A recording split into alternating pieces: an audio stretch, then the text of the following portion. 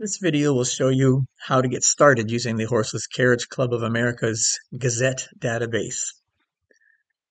The database contains a record for each edition or issue of the magazine going right back to 1938, volume 1, number 1. So when you first run the program after installing it on your computer, then you can uh, you'll be faced with looking at one of the issues, most likely the last issue, the, the most recent issue that's been entered. So here we are looking at November, December 2022. The database screen, each record represents one magazine, and each record is divided into these parts. The top portion up here shows you the information about the front cover, the back cover, and the center spread. Sometimes the most picturesque parts of the magazine. Underneath there is a section for photos where there's a listing of each photo in the magazine that shows a pre 1916 vehicle or else something else related to those vehicles. And you can scroll up and down or use your mouse wheel to roll up and down um, to look at all of the articles and or all of the photos. And these are sorted according to the year of the vehicle. So you can quickly look down and see what if there's a 1910 Thomas Flyer in this article or not. Further down is a section for the articles, and it's similar. Each article in the magazine has an entry that tells you the name of the article, the author, the page, and it fits into what if it fits into one of these categories or one or more of these categories, there'll be check boxes there. So this tells me this is an obituary for one of our members. And there may be some article notes here. So the cover car story, Beauty and the Beast, a little bit of notes here tells information about that particular vehicle. And it's a feature article and it's got historic information in it as well. So that's basically the three main parts of this record. There might be some further information listed down here about this, this particular issue. Over on the right hand side, you see the cover and the table of contents. And if you want to see a better view of it, you can click on this image and it will show you a larger image. And to get out of here, you click on this image again and it takes you back. Uh, it tells you also who was the president that year and who was the editor of this particular magazine. Underneath these two items, it says View in Browser. And if you click on this button, it will open up the image in your browser. Sorry, it will open up the magazine as a PDF file in your browser. Also, these blue arrows will do the same thing.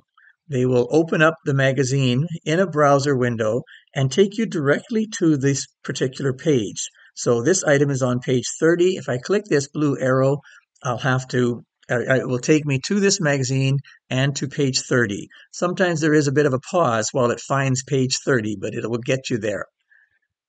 Also, it's possible that some browsers don't act the same as others. There are many different browsers out there now. So if your browser behaves a little bit differently, then then uh, it may not have it may have some problems finding the page number. But for the most common browsers, it seems to be working just fine.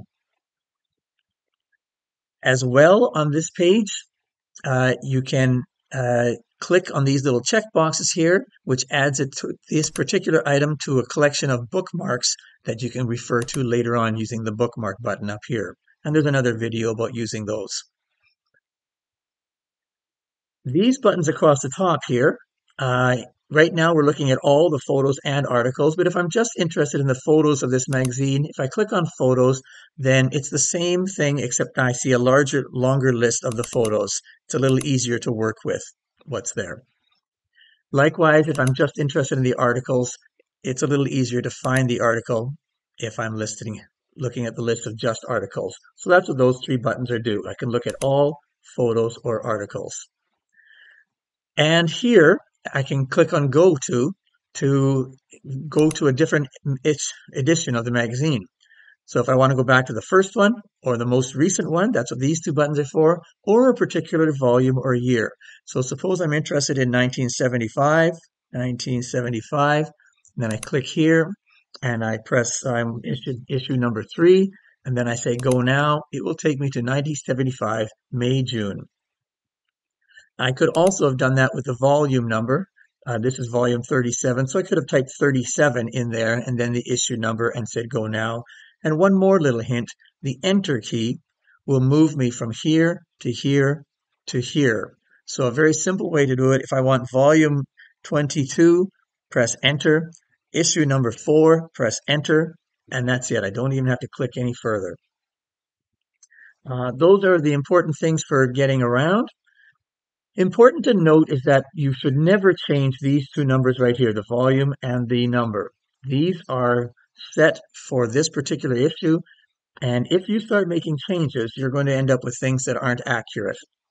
Now, it is possible to change anything in this database, and you might want to enter in your own notes. Perhaps you find this is something particular and uh, you wanted your database to have some notes here. So you can enter in your notes for this article or your notes about this cover. That's all fine. Uh, maybe you have can re-identify some of these other vehicles. Maybe you know what year this Excelsior motorcycle is, so you could enter in your own information here. When you do that, it's all saved in your database, but it doesn't change anyone else's database. So it's not going to change the main database. You can change these things as much as you like and not have to worry about messing up anything for anyone else. But you don't want to change these two numbers here, the volume and the issue number. And in fact, if you try to change them, you'll get a message saying that they're locked and you can unlock it, but you shouldn't. Those are the main things about using the getting started with the database. There is a button here that says view all. And if you click on one of these, it will take you to a listing of all of the photos or articles or covers in the entire database. So if I click here on photos, now it takes me to a list of all of the photos. And up here it tells me there are 23,616 of them. That's a long list. So you're going to need to know how to search to find out how to get to the stuff that you're looking for but searching is another video, so I'm going to leave that for later. I'm going to go back to my data, data entry. You just need to be aware right now that you can view these lists and make your way through them as you want to. There are some important buttons up at the very top here. Really important is this number. This number tells you how many records you're looking at right now. And in this database, there are 465. That's all of the issues up to uh, December 2022. But once you get into sorting, you'll be looking at a group of issues. You might sort it down to so there's only 10 issues that you're looking at. And that's what this number here shows you is how many are in the group that you're looking at. These arrows here will move you from record to record. So I can back up or go forward to the next issue, next issue, next issue. This slider will take me further along and I sort of a fast way of moving through the issues. And down at the bottom in red, there's a note it says you can also use the shift key plus the arrow left or right to move between records. So rather than click, I can just hold shift and go right arrow, next record, right arrow, next record, right arrow, next record. It's another way to move between the records. Remembering that each record is an issue of the Gazette. These buttons across here you probably will never use, uh, but delete a record, you should be aware, will remove this particular record for this issue from your database. You don't necessarily want to do that. Find is involved with searching. That's fairly advanced, and uh, I'll do a video on that later, but you can use it if you want. Sort will allow you to sort records according to any field you want, but it's not likely to be used very much. We have other, other ways of sorting for you and the help button here. The help button will take you to a listing of videos. Right now, as of today, there are just two videos in here, but there will be more probably by the time you see yours. And so you can click on here to view a video. It's a YouTube video and it shows in your browser. And you could even email a help request. If you're finding something that doesn't make sense or you're finding that uh, something is wrong, if you click on this, then it opens the email screen and you can type a message in here. You can type your address in there so, and your name so that we can return a message to you. But in order to do this, you need to know something called your Internet Provider's SMTP address. It's on your computer and the, your email is set up to use this e- email address. It's for sending outgoing mail. Um, and every internet provider has a different address. So you would need to open this uh, your email and find out that information. Once you put it in here, it'll be saved in your database and you won't have to worry about it again. But uh, it will need to be there if you want to use the email feature. Once you've got that in there and the address and the message, you click on send email and it will go directly to us and we can answer your questions that way. Click on done for that. Those are the important things for getting started with uh, the database. There will be more to come, but you're welcome to take a look at it and encouraged to take a look at it and start browsing around and seeing what information of interest is there. There's an exit button right here, uh, which makes sure you close the file completely. It's wise to use that. So I click on exit and I say OK, and then I'll be out of there. And that's it for now for getting started on the Horseless Carriage Club of America's Gazette database.